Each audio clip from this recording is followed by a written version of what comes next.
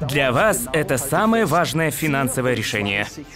Ведь мы всегда сталкиваемся с выбором мечтать и копить деньги, или взять деньги на мечту в кредит. Хватит жить в размышлениях, ведь сегодня я расскажу, как разобраться в этой ситуации и принять правильное решение. Вы на канале Заметки Миллионера. Сделайте правильный выбор прямо сейчас и нажмите на кнопку подписаться. Вопрос о том, что лучше, накопить или взять кредит, остается актуальным во все времена. Казалось бы, все просто. Лучше копить, чем переплачивать проценты. Однако цены растут чуть ли не ежедневно. Размер инфляции опережает ставки банковских депозитов. Так что о приумножении капитала путем открытия счета в банке и речи идти не может. В этих условиях большинство предпочитают взять заем и приобрести нужную вещь или получить услугу сразу, чем сохранять деньги и терпеть их обесценивание. Микрозайм, если деньги нужны срочно. Люди берут микрозаймы главным образом на срочные цели. Например, приобрести новую стиральную машину взамен сломавшейся или оплатить ее ремонт. Обычно к микрозаймам прибегают, если в наличии свободных денег нет. Но что предпочесть? Микрозайм или накопление, если необходимо приобрести не очень срочную вещь, например, новый музыкальный центр. Боду Шефер советует умерять свои желания, так как получить микрозайм очень просто, особенно на небольшую сумму и при хорошей кредитной истории. Размер переплаты будет весьма весьма существенен. К тому же отдавать такой мини-кредит придется очень быстро, буквально через 1-2 месяца. Если речь идет о несрочной и не очень дорогой покупке в пределах 15-20 тысяч рублей, то лучше накопить. Откладывая по 3-4 тысячи регулярно, за полгода можно накопить и на отпуск, и на бытовую технику, и даже на небольшой косметический ремонт. Если же вам денег не хватает регулярно, и поэтому приходится прибегать к микрозаймам, например, вы получаете зарплату в начале месяца и в конце месяца у вас уже нет средств для погашения квартплаты, то лучше оформить себе кредитную карту с достаточным льготным периодом. Тогда вы не будете переплачивать проценты, и вам не придется каждый раз обращаться в микрофинансовую организацию за деньгами. Вывод такой. Если сумма покупки небольшая, то лучше накопить, а не использовать микрокредит. Микрозайм эффективен для срочных приобретений, без которых нормальная жизнедеятельность невозможна. Грубо говоря, если у вас нет другого выбора, где взять денежные средства, то только в этом случае берите займ до зарплаты. Пишите в комментариях о своем отношении к микрозаймам, ведь на сегодняшний день они стали очень популярны на территории СНГ. Мне было бы интересно узнать мнение моих подписчиков по этому поводу. Автокредит. Машина в день обращения. Стоимость автомобилей, особенно брендовых, заграничных, нередко приближается к цене небольшой квартиры. Если выбирать хорошую отечественную машину в достаточной комплектации, то в любом случае придется выложить не менее 400-500 тысяч рублей. Накопить такую сумму достаточно проблематично. Даже если откладывать регулярно по 10 тысяч рублей, то приобрести автомобиль получится только через 40 месяцев, а это 3 года и 4 месяца. Учитывая уровень инфляции минимум в 10% в год, транспорт за это время подорожает порядка порядка на 20-30%. Так, машина стоимостью 400 тысяч рублей будет стоить около 500 тысяч рублей, а это уже 50 месяцев накоплений, то есть 4 года и 1 месяц, на 8 месяцев больше. Если речь идет об иномарке, то она может подорожать еще сильнее за счет курсовой разницы. Поэтому откладывать на покупку автомобиля стоит только при достаточно большом доходе, когда вы можете накопить на нужную марку меньше, чем за один год. В остальных случаях лучше взять автокредит, благо есть возможность сделать это дешевле. Например, участвуя в программе автокредита с господдержкой или приобретая конфискованные автомобили, возможно, оформив лизинг, или же путем приобретения поддержанных автомобилей в автосалоне по специальной программе. Автокредит также актуален, если вам нужен автомобиль для заработка, например, вы таксист или курьер. В таком случае будущая прибыль от приобретения транспорта намного превысит ваши расходы за обслуживание займа. Но копить деньги для покупки авто придется в любом случае для оплаты первоначального взноса.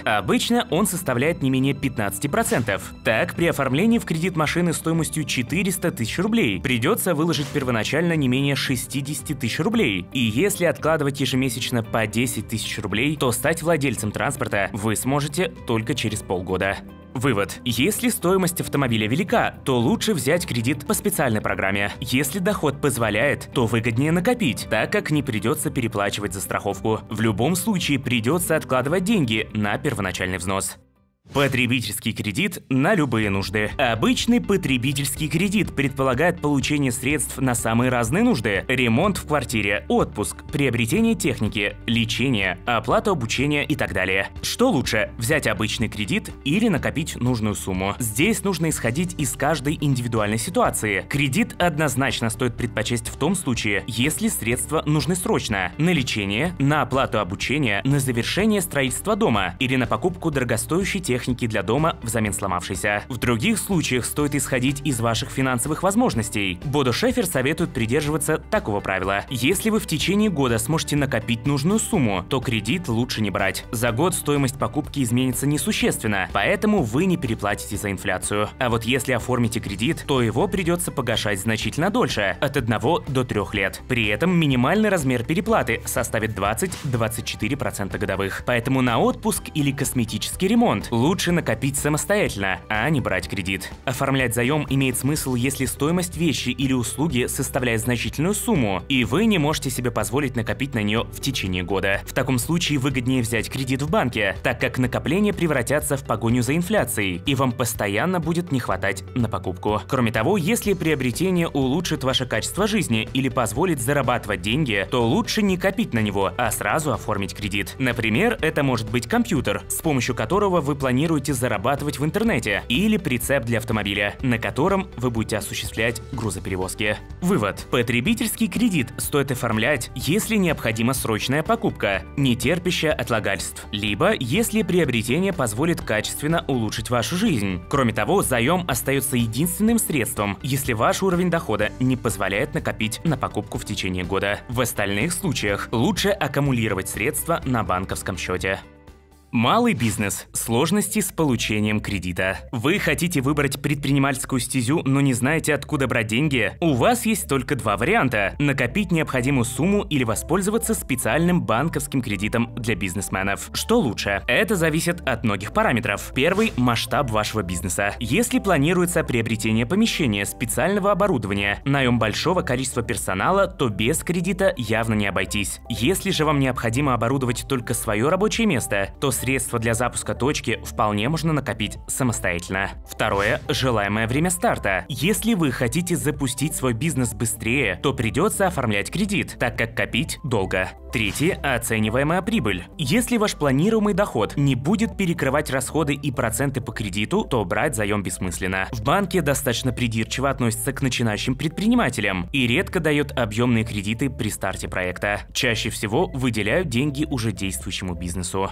Вывод. Вопрос о том, брать кредит или копить, зависит от вашего бизнес-плана. Для начала может хватить и собственных средств, но в большинстве случаев без займа все же не обойтись, особенно если планируется серьезный проект. Большая часть предпринимателей зачастую используют кредитные средства, так как это действительно выгодно, если смотреть в перспективе на будущее. Мне хотелось бы напомнить, что если информация в ролике была для вас полезной, то не забывайте оценивать его своим лайком, а также вы можете делиться этим видео со своими друзьями в социальных сетях. Конечно же, дать окончательный ответ в вопросе «накопить или брать в кредит» будет сложно. Этот выбор придется сделать вам самим, но при этом, используя советы Бода Шефера, я уверен, определиться будет гораздо проще. Так что если вам вдруг что-то было непонятно, не постесняйтесь пересмотреть это видео еще раз. Обязательно подписывайтесь на канал, чтобы не пропускать новые и полезные видео. С вами были Заметки Миллионера. Ты можешь стать богаче.